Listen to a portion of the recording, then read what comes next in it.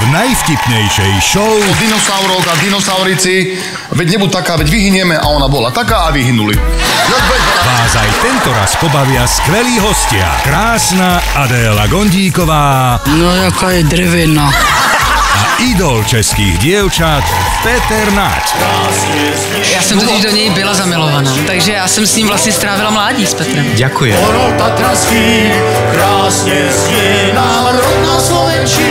Nikto nie je dokonalý. V útorok o 20.35 na Jojke.